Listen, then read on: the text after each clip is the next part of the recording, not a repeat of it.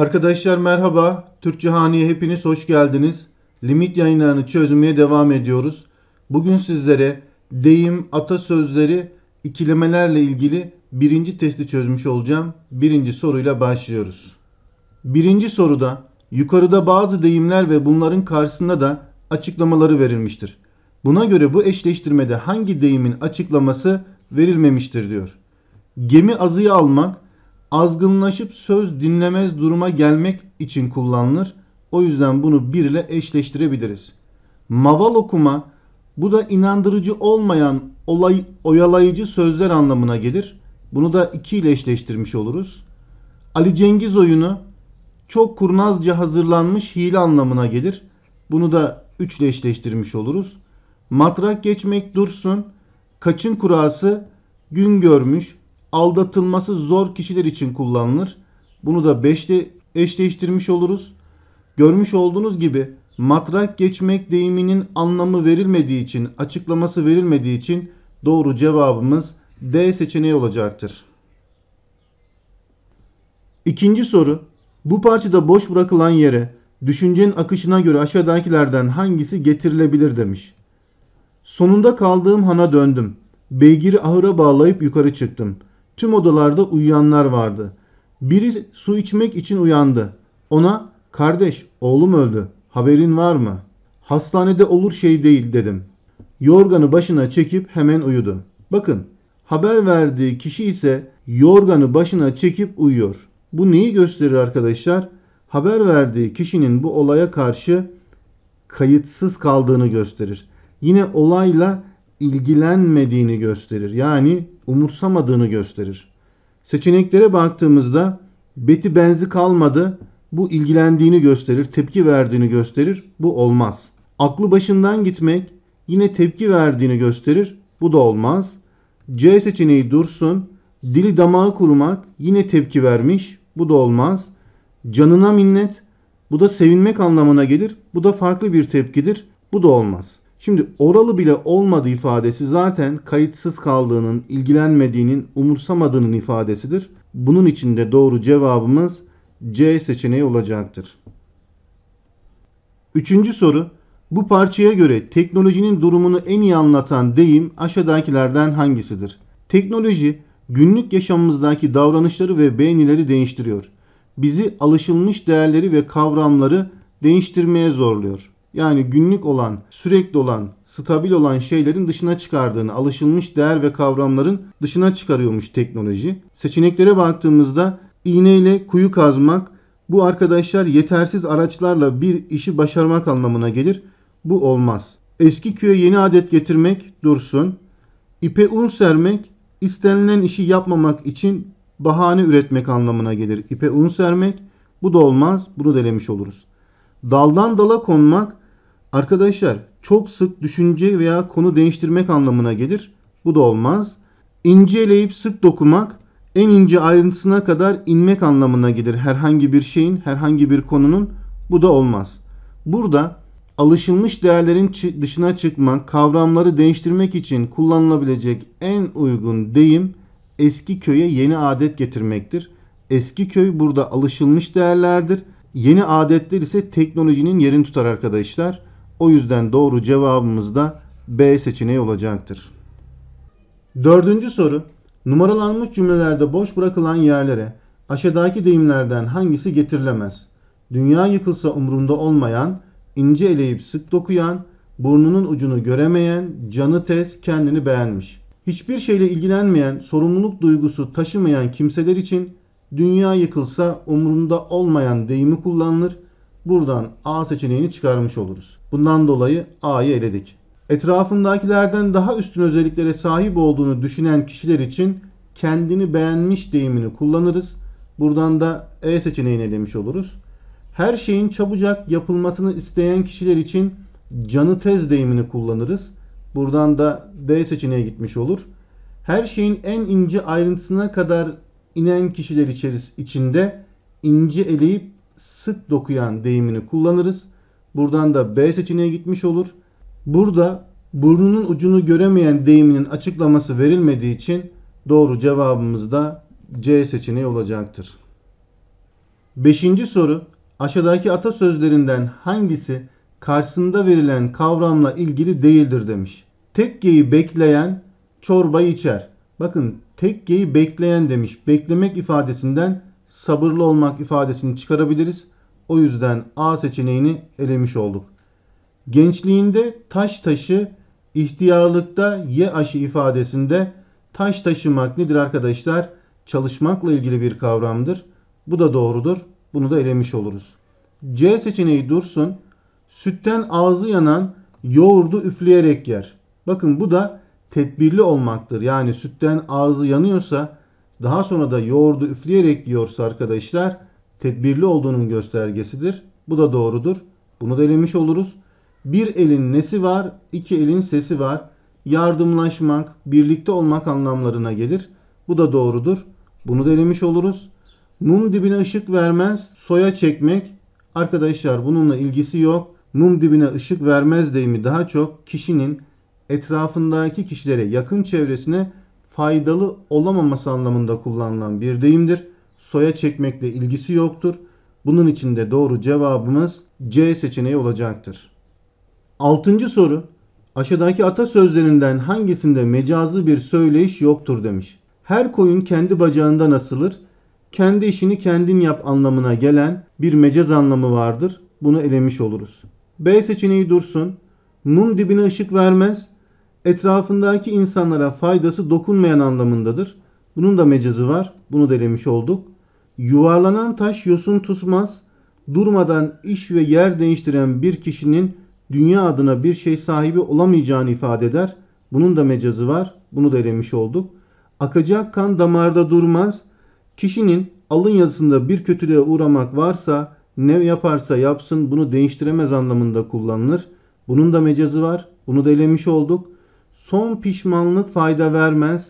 Bakın arkadaşlar bu gerçek anlamda kullanılan bir atasözüdür. Bunun mecazı yoktur. Bundan dolayı da cevabımız B seçeneği olacaktır. Yedinci soru. Aşağıdaki cümlelerin hangisinde deyim açıklamasıyla birlikte verilmemiştir? Konuşulanlara kulak kesilmiş, onları dikkatle dinliyordu cümlesinde kulak kesilmek deyimdir. Dikkatli dinlemek anlamına gelir.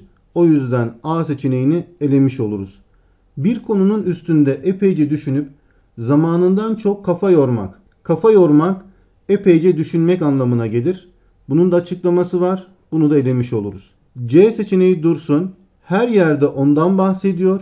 Bir an olsun onu dilinden düşürmüyordu ifadesinde dilinden düşürmemek sürekli ondan bahsetmek, onu konuşmak anlamına gelir. Bunun da açıklaması var. Bunu da elemiş oluruz. Komşumuzun küçük kızı ağzı burnu yerinde oldukça güzel bir ifadesinde ise ağzı burnu yerinde olmak güzel kişiler için kullanılır. Bunun da açıklaması var. Bunu da elemiş oluruz. Dostlarına gönül koymuştu. Onlardan hiçbir şey istemiyordu artık ifadesinde gönül koymak deyiminin açıklaması yok. Gücenmek, alınmak anlamına gelir bu.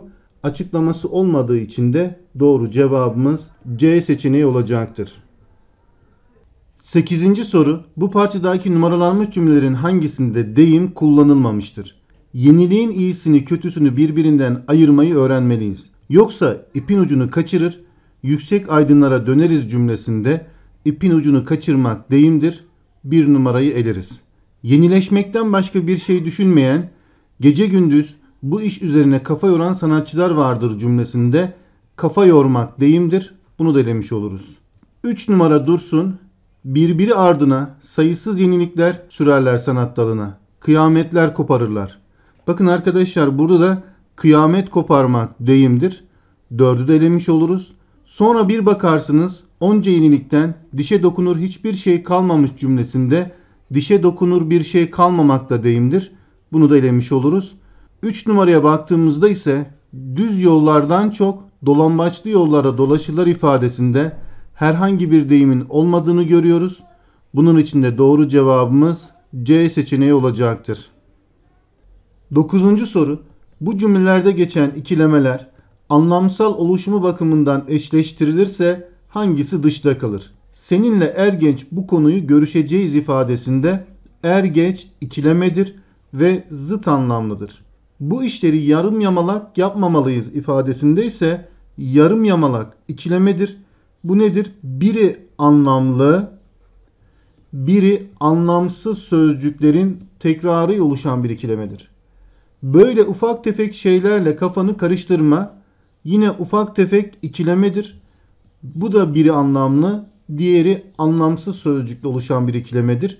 O yüzden 2 ve 3'ü eşleştirebiliriz. Bu sınavı eninde sonunda kazanacağım cümlesinde ise eninde ve sonunda ikilemedir. Bu da zıt anlamla kurulmuş bir ikilemedir. Buradan da 1 ve 4'ün eşleştiğini görebiliyoruz. İngilizceyi şöyle böyle konuşmaya çalışıyoruz ifadesinde şöyle böyle ikilemedir. Fakat bu nedir arkadaşlar? Yakın anlamla kurulan bir ikilemedir. O yüzden doğru cevabımız da E seçeneği olacaktır. 10. soru. Bu parçada boş bırakılan yere düşüncenin akışına göre aşağıdakilerden hangisi getirilemez? Yüreği halkın duygu dünyasına kapalı kimi sanatçılara anlamsız gelecek belki bu sözlerim. O çok bilmiş, aydınımsı görünen, yükseklerden uçanlar, nokta nokta varsın böyle yapsınlar. Öyle düşünüp öyle değerlendirsinler. Onların bu tutumunu sorgulayacak değilim elbet. Arkadaşlar burun kıvıracaklar belki sözlerim ifadesi gelebilir. Çünkü aydınların kendini beğendiğini, e, çok bilmiş olduklarını ifade ediyor. Bu olabilir. Bunu elemiş olduk. Hafife alacaklar beni. Bu da olabilir. E, çok bilmiş kişiler oldukları için, yükseklerden uçtukları için bunu da elemiş oluruz. Bıyık altından güleceklerdir bana. Bakın bu da olabilir. Bu da diğerleriyle aynı anlama geliyor. Bunu denemiş olduk. D seçeneği dursun. Önemsemeyecekler belki de. Bu da A, B ve C seçeneklerinde olduğu gibi aydınların çok kendini beğendiklerinden dolayı, yüksekten uçtuklarından dolayı, çok bilmiş olduklarından dolayı önemsemeyeceklerdir. Bu da getirilebilir. Bunu da elemiş oluruz. Canla başla dinleyeceklerdir sözlerim ifadesi buraya arkadaşlar getirilemez. Çünkü aydınlar kendini beğenmiş, e, çok bilmiş insanlar olduğu için, yüksekten uçtukları için kişinin anlattıklarını hafife alacaklar anlamına gelir. O yüzden bu ifade buraya olmaz. Bunun için de doğru cevabımız D seçeneği olacaktır. 11. soru bu parçada boş bırakılan yere özellikle parçanın son cümlesini dikkate alırsak aşağıdaki atasözlerinden hangisini getirmemiz en uygundur? Saptama ya da yakınma neyi değiştirir ki? Türkçemizin bir atasözü bu durumu çok iyi yansıtır. Sorunun özünde yatan çağ dışı bakış açısını değiştirmek gerek. Ana dil öğretiminin okuma yazma becerisi kazandırmadan öte bu beceriyi bir okuma alışkanlığına dönüştürme etkinliği olduğunda anlaşmamız gerek her şeyden önce. Ana dil öğretiminde kullanılan ders kitaplarını çocuğun ve gencin dünyasını kuşatmayan resmi ideolojinin kemikleşmiş kavramlarını bir yana bırakarak onlara okumayı sevdirtecek çağdaş ürünlerle yeniden hazırlamalıyız. Yoksa yakınmayla, saptamayla bir çözüm getiremeyiz soruna. Bakın şu ifade çok önemli. Yoksa yakınmayla yani saptama, tespit etmekle bir çözüm getiremeyiz soruna. Yani burada ne demek istiyor?